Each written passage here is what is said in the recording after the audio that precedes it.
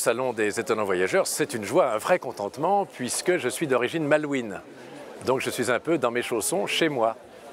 Dans mes chaussons de pêche, évidemment. C'est une expression nouvelle qui ne veut rien dire. Est-ce que les gens qui passent, les chalands qui passent dans ce beau salon littéraire qu'est enfin cette foire, ils sont étonnés de me voir, bien sûr, parce que je suis plus pour eux un homme de l'oral qu'un homme de l'écrit.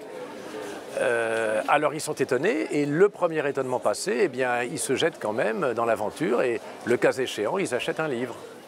Dans, nos spectacles avec Las Palais, dans notre duo comique de musical, il y a toujours une base écrite. L'écriture est très importante. Après, on improvise.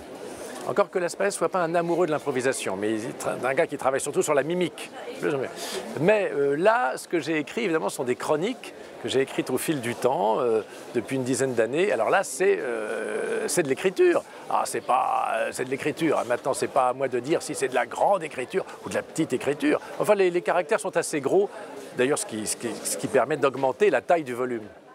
Quand j'ai fait publier ces, nouvelles, à l'instigation d'ailleurs de, quelqu'un que j'admire beaucoup et qui, qui m'a mis le pied à l'étrier depuis longtemps, qui est Philippe Bouvard, je voulais tout simplement écrire des, euh, jeter une espèce de regard sur non pas le monde actuel, mais la France actuelle, avec un petit peu de nostalgie sur ce qu'il y avait avant et qui contrebalance ce qui se fait maintenant. Alors je ne dis pas que le monde d'aujourd'hui est meilleur que le monde d'hier, mais je dis qu'il n'est pas forcément euh, plus mauvais non plus.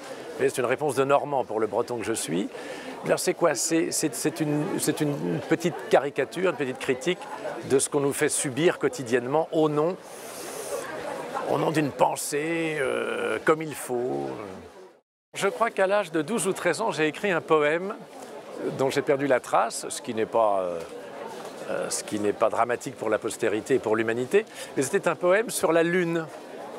Donc j'avais, je, je, parle de, de, l'astre. Euh.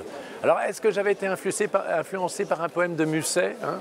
Je ne sais pas.